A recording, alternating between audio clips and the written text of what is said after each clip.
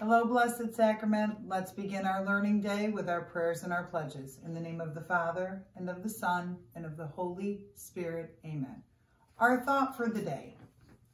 There is great joy and happiness in heaven when even one person asks Jesus to change his heart. Please remember in your prayers a very special intention, all the sick, all those who have died, and all of our generous benefactors in your intentions as we pray our morning offering. O Jesus, through the Immaculate Heart of Mary, I offer you all my prayers, works, and sufferings of this day.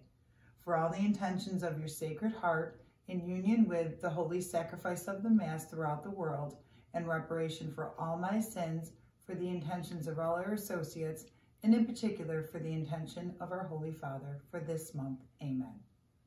Our Father, who art in heaven, hallowed be thy name. Thy kingdom come, thy will be done, on earth as it is in heaven. Give us this day our daily bread, and forgive us our trespasses, as we forgive those who trespass against us. And lead us not into temptation, but deliver us from evil. Amen. Hail Mary, full of grace, the Lord is with thee. Blessed art thou among women, and blessed is the fruit of thy womb, Jesus. Holy Mary, Mother of God, pray for us sinners, now and in the hour of our death. Amen. In the name of the Father, and of the Son, and of the Holy Spirit. Amen. Our Pledge of Allegiance. I pledge allegiance to the flag of the United States of America, and to the republic for which it stands, one nation, under God, indivisible, with liberty and justice for all. Our personal responsibility pledge. I am responsible for what I say and do. I can control or change only myself. My beliefs guide my behavior.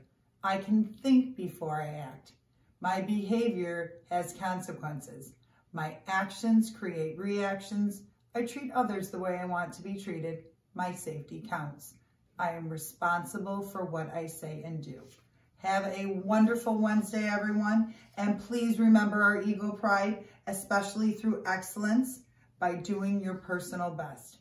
Our announcements today. Today, everyone should be wearing a color that makes them happy. I'm wearing purple. Purple makes me happy. I love the color purple.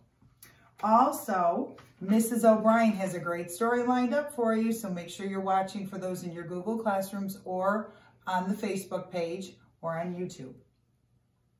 Also, we will be having a new Science Explorer lesson that will be posted on Facebook, so keep an eye out for that. And finally, Mrs. Stanzik continues to read Charlotte's Web. I hope you're following along and enjoying with your own copy or just sitting back and listening.